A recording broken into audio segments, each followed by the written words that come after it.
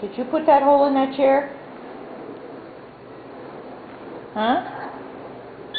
I saw you. I saw you put that hole in that chair. I bet you do. What do you have to say for yourself?